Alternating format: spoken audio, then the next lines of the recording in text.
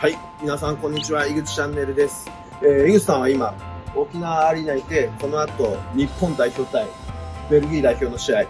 この後生中継の準備してます。えー、まだ日本代表チーム到着してないんですが、この後ウォーミングアップが行われる予定ですので、えー、皆さん一緒に日本代表を応援しましょうレッツゴー日本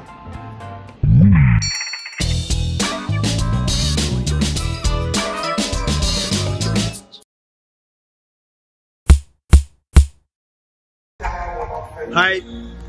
日本代表の沖縄ラウンドは1勝2敗で終了しました。